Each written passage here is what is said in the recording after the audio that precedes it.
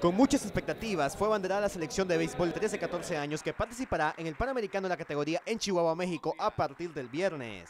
Nicaragua sale como favorita, pues van en el roster chavalos de aquella famosa selección sub-12 que ganó bronce en el Mundial 2015, como Elian Rayo, Lester Medrano y Fidel Oaiziga, ahora en nueva categoría. Mucha fe de que podemos lograr un buen trabajo, que podemos tocar más arriba por su experiencia, por su calidad. Tenemos 14 seleccionados que participaron en el Mundial de China hace dos años, que ganaron medalla de bronce. Bueno, el equipo ya lo conozco a todos, sé que son buenos chavalos, vamos a intentar hacer las cosas bien y ojalá Dios los ayude para traer una medalla a Nicaragua. Bueno, pues aunque ya estaba en los 15, sí lo tuve como dos o tres prácticas con esta selección.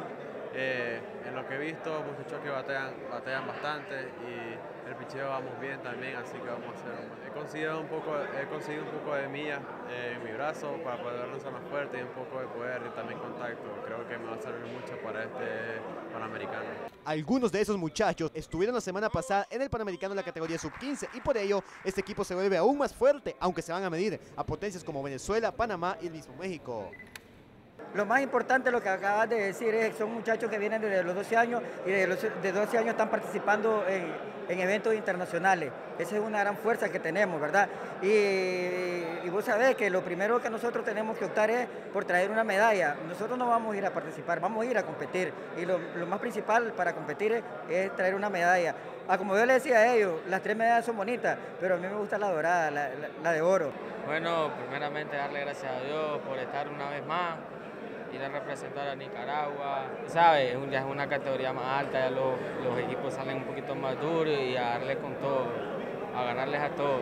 Nicaragua debuta el viernes contra Venezuela con posiblemente Lester Medrano abriendo el primer partido. Esta es la tercera selección menor que tiene compromiso internacional en 2017 y bajo el mando del señor Ismael Martínez y con chavalos de Ciudad Río, Chinandega y Managua esperan lograr un sólido resultado que de paso los clasifique al Mundial.